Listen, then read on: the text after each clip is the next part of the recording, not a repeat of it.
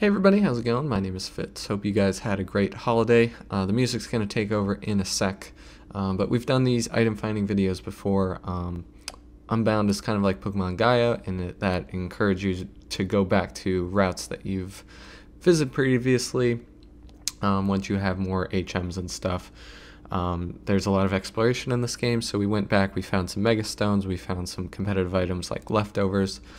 Um, I'm going to put a timestamp to the most um, important items that we found. Um, and if you think I missed any really major ones, let us know in the comments. Um, there's also some evolutionary stones like Shiny Stone um, if you want Togekiss.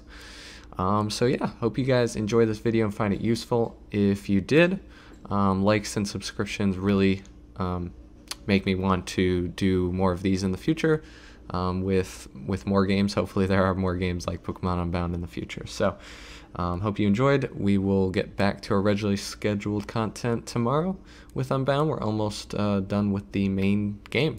Um, so, looking forward to finishing it. Hope you guys enjoy, and I'll talk to you all later. Bye.